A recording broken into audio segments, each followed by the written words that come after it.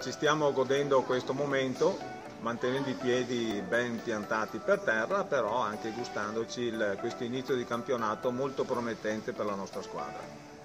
Adesso ci aspettano, ogni domenica sarà sempre più dura, però è chiaro che vincere dà una, uno spirito e una voglia sempre superiore. Cercheremo anche qualche altro rinforzo che possa aiutare la squadra nei momenti duri, che probabilmente arriveranno, però è innegabile che l'inizio è stato molto soddisfacente.